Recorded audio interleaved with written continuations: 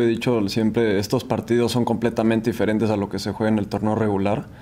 Obviamente, y más siendo a 90 minutos nada más, ¿no? Entonces, por lo que vimos, yo sí siento que va a ser un partido muy dinámico, un partido con mucha propuesta de, de las dos partes. Pero nosotros estamos completamente, y como lo hemos hecho todo el torneo, enfocados en nuestro fútbol en ser determinantes, en cerrar espacios, en proponer, en manejar el ritmo del juego y obviamente poder ser certeros desde el principio del partido para poder controlarlo, controlarlo después.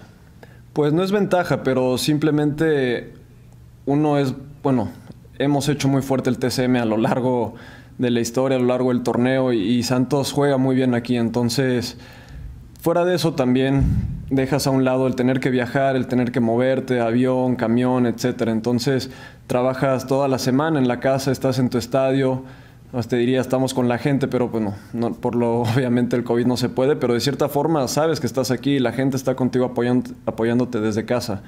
Entonces, no lo quiero determinar como ventaja, pero sí es determinante en cierto aspecto. Bueno, pues obviamente tener el balón, ¿no? como ya lo mencionaba Pachuca, es un equipo dinámico, es un equipo que nos vino a jugar aquí, también tuvo bastante propuesta en, la presión, en poder mantener nuestro ritmo de juego, que es bastante alto. Entonces, tener el balón, controlarlo, ser determinante en las jugadas, saber cuándo presionamos completamente, cuándo por ahí a lo mejor si el equipo tuvo varias jugadas seguidas, cuándo poder respirar para mantener el mismo nivel y el mismo ritmo, ¿no? Entonces, pues más que eso es, es trabajar toda la semana, como lo mencionó seguir haciendo lo que venimos haciendo que, ha estado dando resultados, estar completamente enfocados, mentalizados, concentrados, todos los compañeros, todo el equipo, porque es un partido determinante y es un objetivo para nosotros el clasificar a la siguiente fase. Claro, digo, como lo menciono desde el principio del torneo, uno se planta objetivos tanto personales como grupales. Y dentro de los grupales siempre era clasificar. Obviamente este torneo, por las modificaciones que tuvo, te daba este, este, de cierta manera, colchón, ¿no? Que si no estabas dentro de los ocho, podías alcanzar ahí un, repechaje.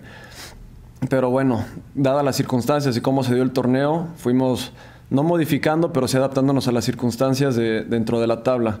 Finalmente creo que logramos nuestro objetivo más cercano, que era estar dentro de los primeros ocho ya que matemáticamente estar entre los primeros cuatro no, no era posible.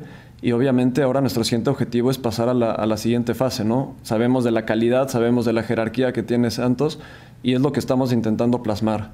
Lograr este, este paso a la siguiente fase es, diría, un escalón, porque estamos pensando plenamente en el campeonato.